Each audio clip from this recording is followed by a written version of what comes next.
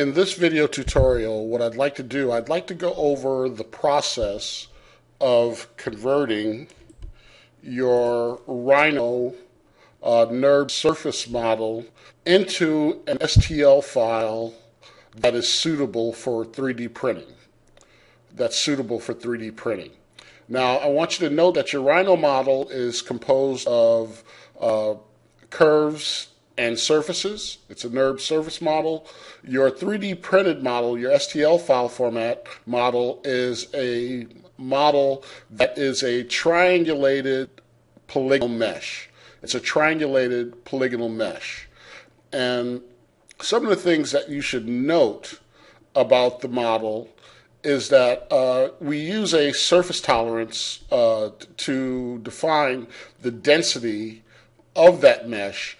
And as it's converting it into STL, you'll notice that in areas where there's high curvature, curvature in our model, that we have more density. That polygonal mesh is a lot more dense than it is in areas of the model where there aren't areas of high curvature high curvature. And we, and we control that with a parameter that we pass in the conversion for the distance between the original NURB surface and the, and the resultant um, STL model, but you should note that it's kind of a, a selective and, and, and, it makes decisions that in those areas of high curvature, it adds more density, more polygonal density than in those areas that are uh, basically flat. And that accounts and will create the smoothness in your final 3D print.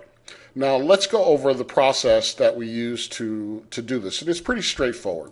I'm going to hide this for right now and I'm gonna I'm gonna bring my uh, polygonal model, my NURBS model, uh, here like so.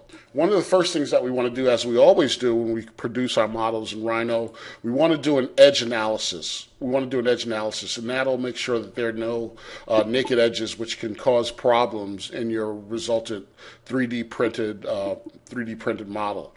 So we come over here to analyze edge tools show edges. Okay, and if we turn on all edges here, as we've gone over before, it shows all the edges in the model. Okay, and it's represented by pink. What you want to do is that you want to check on this tab right here that shows only the naked edges in the model, only the naked edges. And you notice that when we check on that, there, there's no pink in our model, which means that all our all of our edges that our model is closed, that we have what we call an inherent solid, which is which is what we want. We can also check for non-manifold edges. There are no um, non-manifold edges in our in our model. So this is a nice clean model. We can look up here at a command line. There's 159 edges total, and there's no naked edges, no non-manifold edges. So this is a good model. Now, the process for converting it uh, to STL format is pretty straightforward. We want to select our model, and we want to do an, a file, export selected, and we want to choose the STL file format from our menu items, the STL file format. Okay, and we give the file a name. I'm going to call this LED 02 and as you note, it's an STL file, and that's what we care about. We care about file formats, and we want to save that. And that brings up our STL mesh export options. And this is the important part the tolerance. Okay, we want to set the maximum distance between the original surface or solid and the polygonal uh, mesh created from the STL file to 1000, 0.001. And that'll provide a good density that'll maintain the curvature of our original model. And if you like, you can hit the preview tab so that you can see what that will look like.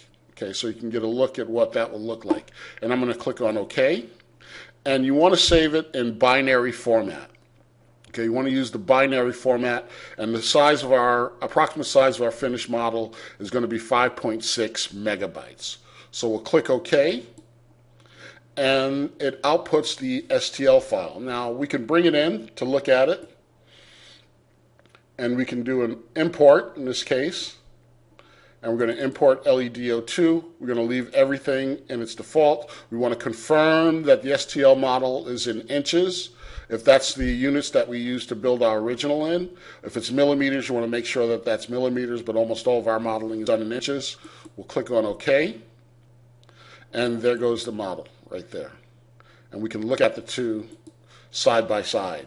Um, and what you'll turn into, uh, what turn into and post to the uh, Digifab uh, site will be this STL file. This is the file that you bring in, and that's the file that will be used for your 3D printing.